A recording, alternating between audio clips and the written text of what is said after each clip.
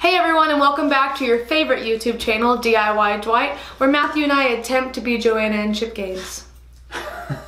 Today we are going to try to refurbish our existing bathroom because it's really expensive to change everything. We have this lovely plastic fiberglass tub shower, From state of the art. From 1987. We're going to try to transform this yellow color to more of a white color and we picked up some subway tile to put above it for a nice fresh new look.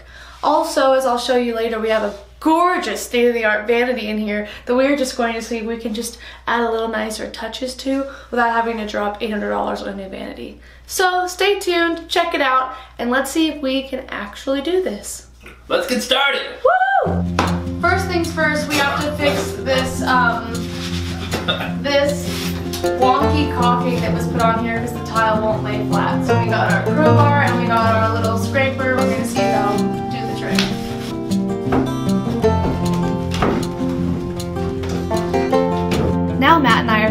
The wall so that we create a nice rough surface for the mastic to stick to so that the tile can then adhere to it really nicely. Okay, so we cleaned off the top, made it really level, used everything we could find with a flat edge, from a flathead screwdriver to um, a little tiny knife to be careful with, and a crowbar, which was really heavy but really worked. And now we are going to install the tile.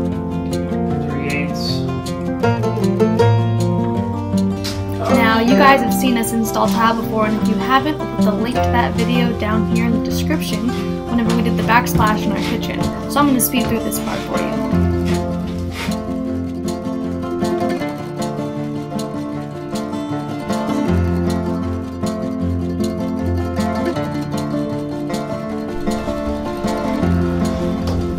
That's looking pretty good. Last bugger.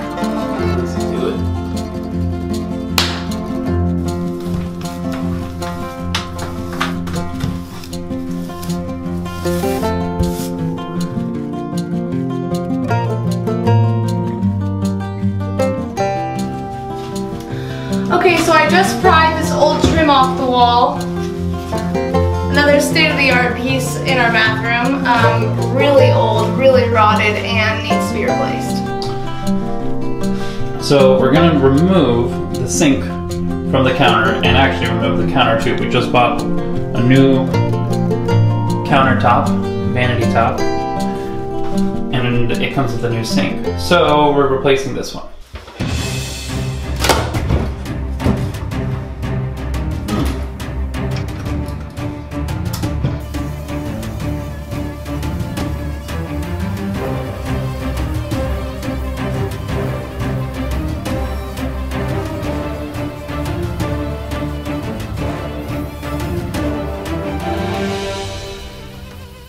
Now that I've sanded the whole front of this, gotten all the paint off, and cleaned up the mess, we're gonna try and remove the countertop.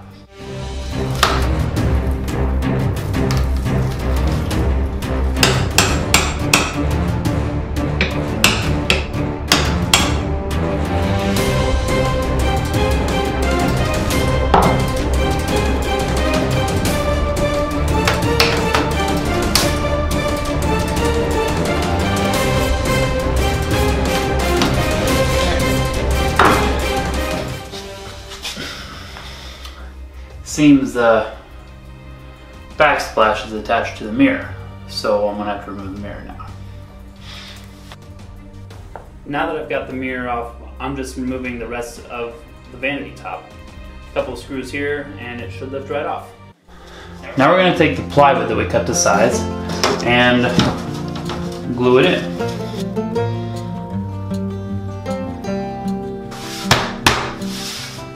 All right, now we're just gonna clamp everything into place.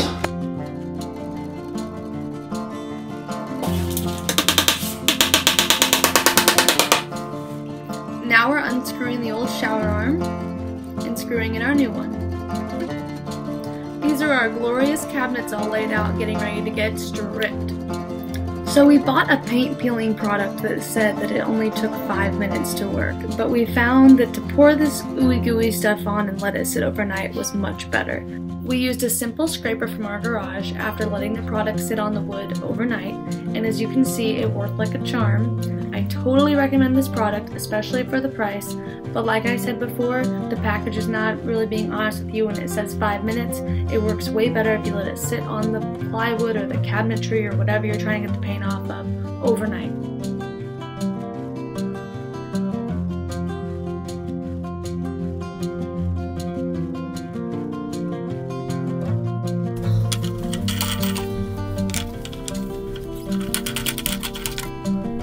Again, four hours later.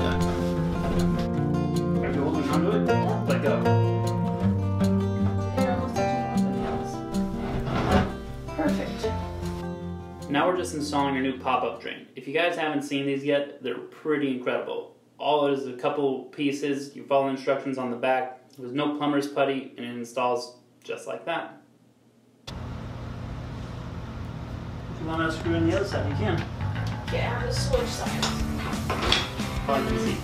Are you I'm the gonna, holes I'm gonna go grab an old hinge so Yeah. we can compare. Because that sounds like a good idea.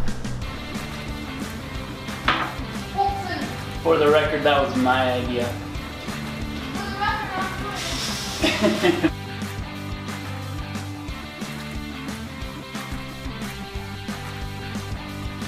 Let's make this a little bit more scientific.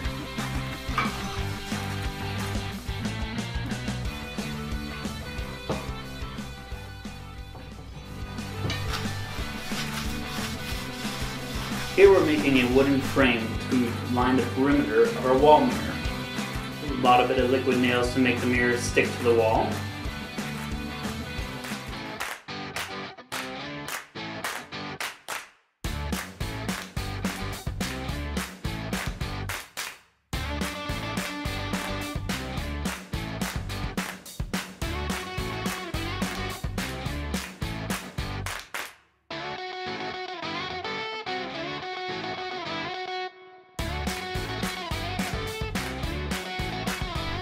Improvising shower rod to hold it on so the liquid nails can dry.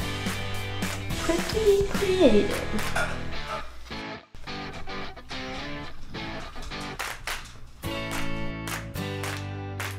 Now we're just finishing the last part of our bathroom overhaul and painting our tub. We used Rust-Oleum's tile and tub paint and applied it with a short nap roller. We only had one container and we're only able to get one coat out of it, so we'll probably do another one at a later time. But if you don't have a tub shower enclosure, you should be able to get at least two coats, no problem.